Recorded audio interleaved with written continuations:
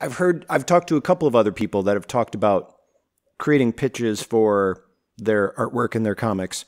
What does that entail? Like, I guess I've never done one. Like, what is it even? What is there like a special format, or I mean, are you just kind of go?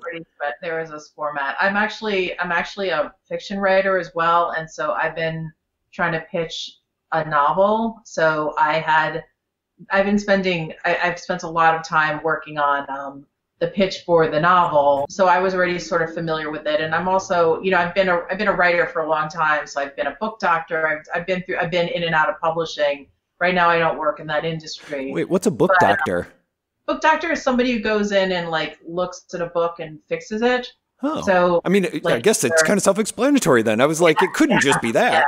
Yeah. yeah, no, it is. It's you know either either like kind of helps developmentally or helps you know with line edits to make sure things are right or hmm. you know writes a proposal for somebody that kind of thing. I, i've done all that kind of stuff in the past.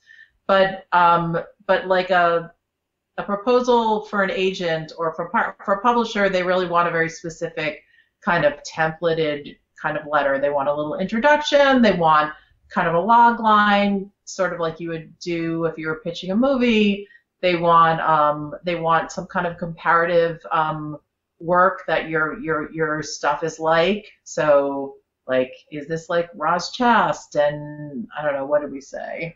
I don't know. we, like we're not great at the comps. meets. I mean, you know, mine is else. my my novel is like Nosferatu meets you know Golden Compass, but you know we haven't quite we haven't quite gotten. I don't think our I don't think our, our comps are really great for background noise comedy. Well, part of yeah. part of our pitch was uh, it, it, it was uh, what if um, Peanut the kids from Peanuts um, grew up and moved to New York and wanted to work for the New Yorker. Yeah, that's kind but of. then they got yeah. distracted by Yeah. like having kids and having jobs and things. Yeah, yeah. Which I like that one Yeah, because. Peanuts, like you could see kind of visually Peanuts as an Yeah, influence on the comic. yeah, So yeah. I like that. So, and then they want they want a little bio, something that gives you credibility. Like usually it's like, why do you, why are you, why are you the right person to write this book? With a comic, I'm assuming you have to have some examples of the artwork too that you have to include with it. Yeah. So I think I think with the I think with the graphic novel they want like five pages. So Oh, that um, Oh, Yeah. We, we, we have 600 plus comics. So Right. yeah, but it's We have the but we don't we don't have the we Well, don't have it formatted. In It's not, yeah, it's not Yeah. formatted Yeah. into a book. But it depends. Every agent wants something different. Yeah, different different uh, places have different Yeah. submission policies. Yeah, and I, the formatting is an interesting thing because with the web, even though like I, I know you guys are on Webtoons, and with that you can do the scrolling format, which Right. can work for uh, the pages. But yeah, it's it's what what kind of uh, layout are you doing? Do you do you mix it up a bit? I know on Instagram when I've seen it, you have them cut into squares so they slide. But when you actually have them laid out before they're cut into the squares, like what is the format that you have them laid out in for the web?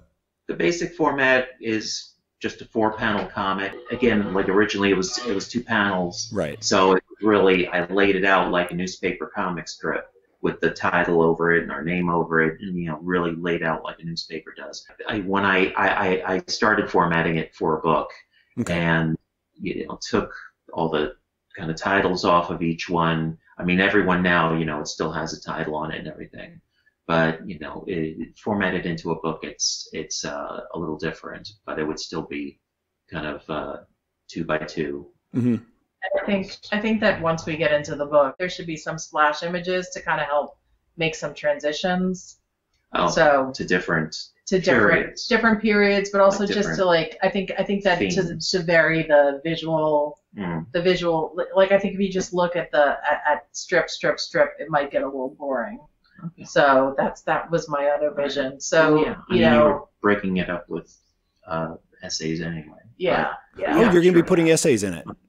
Well, that was my idea. Was that you know we sort of like like the first book is a year is called it's going to be called a year on the couch, and so it's going to be very much you know we did do a comic every day that year, and so it'll be I think almost every day, like pretty much every day, and um, you know as we sort of introduce new themes, I wanted to kind of write a little bit about about it, like why did we start talking about um, mental health issues and you know sort of like we just talked about you know, why did I start talking about weight issues? Why did my mother, as a dead, a, a, my, the ghost of my mother, kind of come in?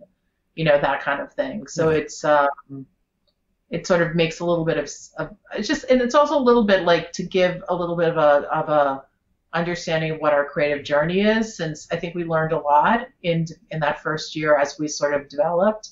And there's something to be said for doing, as you know, doing something every day. You really do learn a lot.